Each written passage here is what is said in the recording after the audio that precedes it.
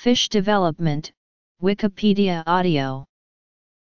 The development of fishes is unique in some specific aspects compared to the development of other animals. Most bony fish eggs are referred to as telolecithal which means that most of the egg cell cytoplasm is yolk. The yolky end of the egg remains homogeneous while the other end undergoes cell division. Cleavage, or initial cell division, can only occur in a region called the blastodisc, a yolk-free region located at the animal pole of the egg. The fish zygote is meriblastic, meaning the early cell divisions are not complete. This type of meriblastic cleavage is called discoidal because only the blastodisc becomes the embryo.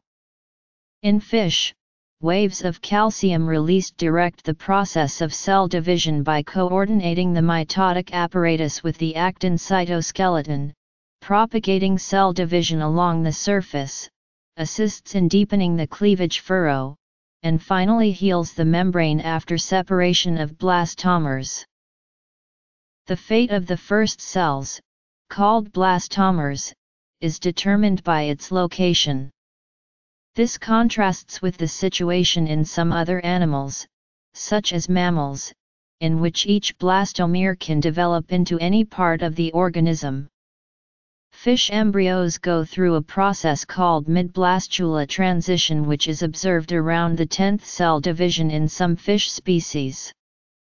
Once zygotic gene transcription starts, slow cell division begins and cell movements are observable. During this time three cell populations become distinguished. The first population is the yolk syncytial layer. This layer forms when the cells at the vegetal pole of the blastoderm combine with the yolk cell underneath it. Later in development the yolk syncytial layer will be important in directing cell movements of gastrulation. The second cell population is the enveloping layer which is made of superficial cells from the blastoderm that eventually form a single epithelial cell layer. This layer functions in protection by allowing the embryo to develop in a hypotonic solution so the cell will not burst. Finally, the third set of blastomeres are the deep cells. These deep cells are located between the enveloping layer and the yolk syncytial layer and eventually give rise to the embryo proper. Cleavage once blastoderm cells have covered almost half of the yolk cell, thickening throughout the margin of deep cells occurs. The thickening is referred to as the germ ring and is made up of a superficial layer, the epiblast which will become ectoderm, and an inner layer called the hypoblast which will become endoderm and mesoderm. As the blastoderm cells undergo epiboly around the yolk the internalization of cells at the blastoderm margin start to form hypoblast. Presumptive ectoderm or epiblast cells do not interalize but the deep cells do and they become the mesoderm and endoderm. As the hypoblast cells move inward future mesoderms start to move vegetally and proliferate but later in development these cells alter their direction and start moving towards the animal pole. However, endodermal precursors seem to lack a pattern and move randomly over the yolk. Once the egg has become multicellular and positioned its germ layers with ectoderm on the outside mesoderm in the middle, and endoderm on the inside body axis have to be determined for proper development. A dorsal ventral axis has to form and major proteins involved are BMP and WNTs. Both proteins are made in the ventral and lateral portions of the developing embryo. BMP2B induces cells to have ventral and lateral fates while factors such as chordin can block BMPs to dorsalize the tissue. WNT8 induces ventral, lateral, and posterior regions of embryonic tissue. WNT also has inhibitors like noggin to allow for the formation of dorsal tissue. In order to aid in proper development fish have an organizer center called the Nieuwkoop Center. Anterior and posterior axis formation seems to be the result of interplay of FGFs, WNT, and retinoic acid. FGFs, retinoic acid, and WNTS are required to turn on posterior genes. Neurulation, the formation of the central nervous system, is different in fishes than in most other chordates.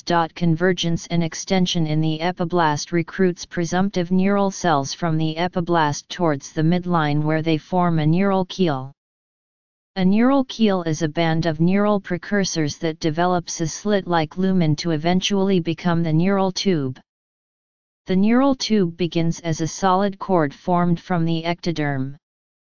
This cord then sinks into the embryo and becomes hollow, forming the neural tube.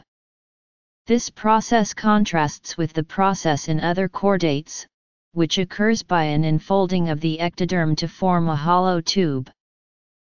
Throughout the years advances in research have shown that neural formation relies on interactions between extrinsic signaling factors and intrinsic transcription factors.